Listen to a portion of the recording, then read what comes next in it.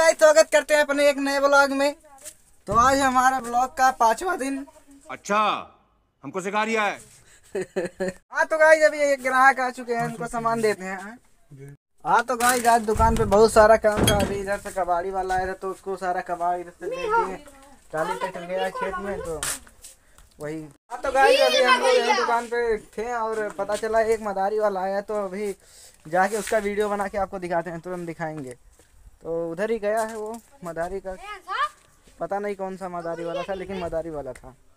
बोले तो सांप वाला हाँ, तो गाइस मदारी खेलना आ गया था वहाँ पे।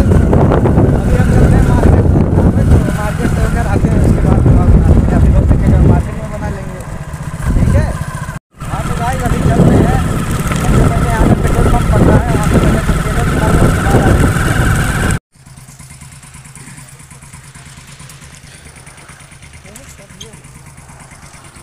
भैया लेके गए हैं गाइस हाँ तो गाइस अभी पानी पूरी खा रहे हैं।